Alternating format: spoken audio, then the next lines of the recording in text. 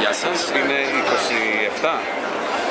Είναι 27 Σεπτεμβρίου 2013 και είμαστε στο Ηρώδιο, στο Οδείο Ηρώδιου του και είναι η συναυλία του Σταμάτης Πανουδάκη.